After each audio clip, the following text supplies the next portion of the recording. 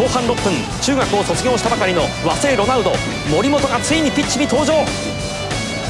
その8分後森本のファーストタッチからビッグチャンスが生まれる。森本そしてウーゴがゴール前へ突っ込む。ここから一気にベルディペース。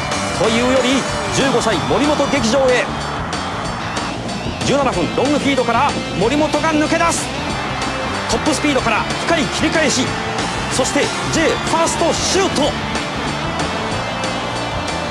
さらに22分山西に競り勝った。ヘッドも強いぜ15歳。